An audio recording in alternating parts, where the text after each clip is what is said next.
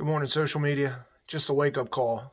Uh, for those of you that thought otherwise, there's a really, really good chance that whoever your government elected official is has something going under the radar that you don't know about that's profiting them.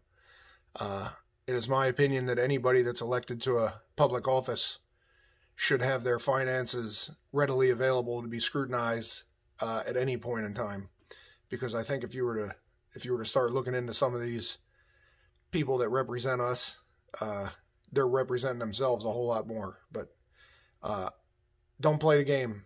You already know what's happening. The only way to get it fixed is to redo the whole thing. We need people like my father in office, the way that it used to be, that are looking out for everybody else instead of looking out for them. But anyway, don't be stupid.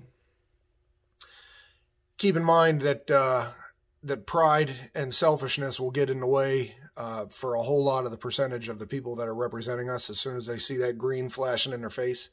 But uh, do the smart thing. Do your investigations and uh, make sure you know the person you're putting in office because otherwise we end up with a whole bunch of people that are just trying to make their lives better and not worried about us at all. So anyway, hope you all have a great day. Later on.